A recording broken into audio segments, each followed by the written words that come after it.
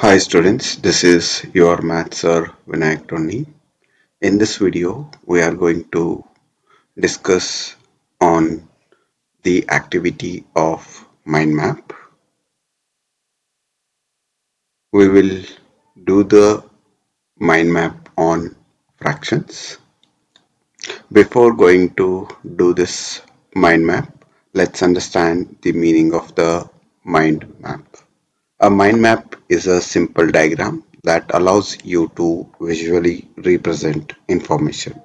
The meaning of this is that it is a diagram or a flowchart which allows us to understand or to represent the information or the subtopic of the chapters. Let's draw the mind map on fractions. To draw that, first we will write a title on top of the page as a mind map on fractions.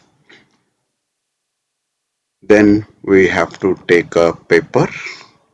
In the middle of the paper, I will write title of the chapter which I am going to represent the mind map that is fractions. So I will draw this pattern and then inside that pattern I will write as a fractions. In this fractions we studied the definition of a fractions so I will write definition a fraction is a part of a whole and then again I will draw this pattern like this and this. After understanding the meaning of the fractions we studied about types of fractions those are proper fractions, improper fractions and then mixed fractions. After completion of these types of fractions, we studied equivalent fractions. Again, I will draw the pattern on this equivalent fractions. Once we finish uh, the understanding on the equivalent fractions, we have the next subtopic as like and unlike fractions. These are the different types of the fractions we studied.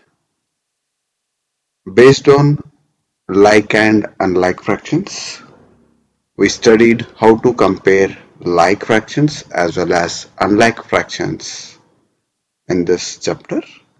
And last, we studied about addition and subtraction of fractions. So here we completed all the information or the topics and subtopics of this chapter fractions which I represented with the flowchart you can say or with the help of a diagram. Such type of uh, representation of topic and subtopics on this diagram is known as mind map of fractions. So this way you guys draw this mind map on A4 size sheets.